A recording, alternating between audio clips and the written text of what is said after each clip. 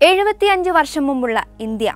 നാം ഓരോരുത്തരും ഓർമ്മിക്കാൻ ഇഷ്ടപ്പെടാത്ത നമ്മുടെ മനസ്സിനെ മുറിപ്പെടുത്തുന്ന ചരിത്രമുള്ള ആ നാളുകൾ. ആ കറുത്ത നാളുകളിൽ നിന്ന് ഇന്ന് കാണുന്ന ഇന്ത്യയിലേക്കുള്ള വളർച്ചയ്ക്ക് പിന്നിൽ ഒത്തിരി പേരുടെ ത്യാഗങ്ങളുണ്ട്. ഓരോ രക്തസാക്ഷികളുടെയും ജീവന്റെ വിലയാണ് നാം അനുഭവിക്കുന്ന ഈ സ്വാതന്ത്ര്യം. സ്വതന്ത്ര ഭാരതം എഴുപത്തിയഞ്ചിന്റെ നിറവിൽ നിൽക്കുമ്പോൾ ഇരുളടഞ്ഞ ജീവിതത്തിൽ നിന്നും നമ്മെ വെളിച്ചത്തിലേക്ക് നയിച്ചവരെ ഈ ആഘോഷവേളയിൽ നാം ഓർമ്മിച്ചില്ലെങ്കിൽ നന്ദികേടെന്നല്ലാതെ മറ്റൊന്നും പറയാനാകില്ല. സ്വാതന്ത്ര്യം ഒരു സുപ്രഭാതത്തിൽ നമുക്ക് ലഭിച്ചതല്ല. അതിനായി അക്ഷീണം പ്രവർത്തിച്ച കുറച്ചുപേർ ഇന്നും നമുക്ക് ചുറ്റുമുണ്ട്. അതിൽ പ്രധാനിയാണ് സമരവഴികളിലെ നിത്യയൗവനം എന്നറിയപ്പെടുന്ന പി കെ മേദിനി. വിപ്ലവത്തിന്റെ ഈരടികളിലേക്ക് കാലമെതിരേറ്റ പടപ്പാട്ടുകാരി പി കെ മേദിനിയുടെ മനസ്സിൽ ഇന്നുമുണ്ട് എഴുപത്തിയഞ്ചാണ്ടുകൾക്ക് മുൻപ് നടന്ന പുന്നപ്ര വയലാർ സമരത്തിന്റെ ഉറവ പറ്റാത്ത ഓർമ്മകൾ. ജന്മിത്യത്തിനും കൊടിയ ചൂഷണത്തിനുമെതിരായ തൊഴിലാളികളുടെ മനസ്സിലെ ചൂടും ചൂരും പി കെ മേദിനിയുടെ ഈണത്തിൽ അലയടിച്ചപ്പോൾ മലയാളികൾക്കത് നവ്യാനുഭവമായി. ആ ഹൃദയ പുഷ്പങ്ങളെ അവർ ആവോളം നുകർന്നു. അതിന്റെ മാസ്മരികതയിലാണ് തലമുറകൾ പോരിനിറങ്ങിയത്. പിന്നീട് കേരളം കണ്ടത് ചുടുചോരയിൽ ഇതിഹാസം രചിക്കുന്ന മണ്ണിനെയാണ്. പാട്ടിനെ തടവിലാക്കാൻ ഒരു ഭരണകൂടത്തിനും കഴിയില്ലെന്ന് തെളിയിക്കുന്നതായിരുന്നു ആ ജീവിതം.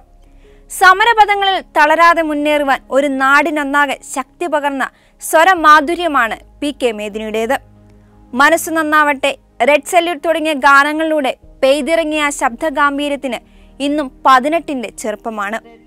എട്ടാമത്തെ വയസ്സിൽ കമ്മ്യൂണിസ്റ്റ് പാർട്ടിയുടെ ഭാഗമായ മേദിനി എൺപത്തി ഒൻപതാം വയസ്സിലും പ്രായത്തിന്റെ അവശതകൾ മറന്ന് സംഘടനാ പ്രവർത്തനങ്ങളിൽ സജീവമായി. ഉച്ചനീചത്വങ്ങളും ജാതി വൈകൃതങ്ങളും അരങ്ങുമാണ് കാലം. ദരിദ്ര കുടുംബത്തിലായിരുന്നു മേദിനിയുടെ ജനനം. മൂത്ത സഹോദരൻ ബാവ മുഴുവൻ സമയ കമ്മ്യൂണിസ്റ്റ് പാർട്ടി പ്രവർത്തകനായിരുന്നു. മറ്റൊരു സഹോദരൻ ശാരംഗപ്പാണിയുടെ തുന്നൽ ജോലിയിലൂടെ ലഭിക്കുന്ന തുച്ഛമായ തുക മാത്രമായിരുന്നു കുടുംബത്തിലെ ഒരേ ഒരു വരുമാനം. സ്വന്തമായി ഭൂമിയില്ല. തിരുവിതാംകൂർ കയർ ഫാക്ടറി വർക്കേഴ്സ് യൂണിയനോട് ചേർന്നുള്ള തൊഴിലാളി കലാ സാംസ്കാരിക കേന്ദ്രത്തിലെ സന്ദർശനമാണ് വിപ്ലവ ഗാനത്തിലേക്ക് ശ്രദ്ധ തിരിപ്പിച്ചത് പന്ത്രണ്ടാം വയസ്സിൽ ആദ്യമായി വേദിയിൽ കയറി പാട്ടുപാടുമ്പോൾ ഭാവിയിൽ താൻ അറിയപ്പെടാൻ പോകുന്നത് ഈ പാട്ടുകളുടെ പേരിലായിരിക്കുമെന്നൊന്നും മേദിനി അന്ന് കരുതിയതല്ല. പക്ഷെ കാലം കാതോർത്തതും കാത്തുവെച്ചതും അവരുടെ ശബ്ദവും അതിലൂടെ അവർ പറഞ്ഞ രാഷ്ട്രീയവുമായിരുന്നു. ആദ്യകാല പാർട്ടി സമ്മേളനങ്ങളുടെ പ്രധാന ആകർഷണമായിരുന്നു മേദിനി. ആദ്യമായി പൊതുവേദിയിൽ പാടുന്നത് ആലപ്പുഴ കിടങ്ങാമ്പറമ്പ് മൈതാനത്തിലാണ്. പതിനായിരങ്ങൾ പങ്കെടുത്ത പൊതുയോഗം വൈദ്യുതിയും മയക്കുമില്ലാത്ത കാലം വേദിയിലും സദസ്സിലും വെളിച്ചം പകർന്നത് പെട്രോമാക്സും. പി ടി പുന്നൂസ് പങ്കെടുത്ത ആ യോഗം മേദിനിയുടെ മനസ്സിലുണ്ടാക്കിയ സ്വാധീനം ചെറുതല്ല. പിന്നീട് യൂണിയൻ സമ്മേളനങ്ങളിലും പാർട്ടി യോഗങ്ങളിലും അവിഭാജ്യ ഘടകമായി മേദിനിയുടെ പാട്ടുകൾ മാറി. ജനങ്ങളെ ആകർഷിക്കാൻ ഉച്ചഭാഷണിയും പി കെ മേദിനിയുടെ പാട്ടും യോഗത്തിൽ ഉണ്ടാകുമെന്ന് സംഘാടകർ അറിയിപ്പും നൽകുമായിരുന്നു.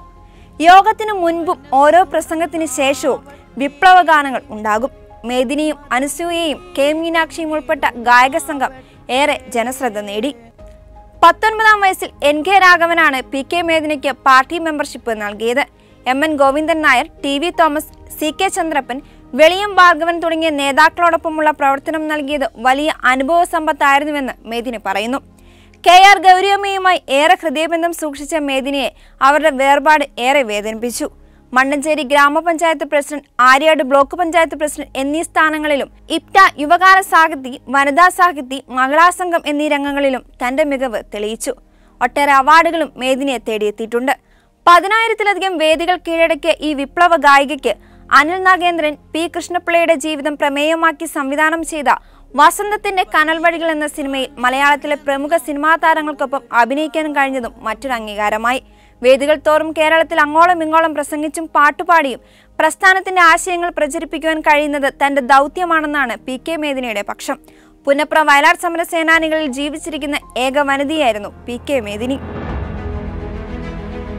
എഴുപത്തിയഞ്ചാം സ്വാതന്ത്ര്യ ദിനത്തിന്റെ ആഘോഷവേളയിലും പി കെ മേദിനിയെ നമുക്ക് സ്മരിക്കാം.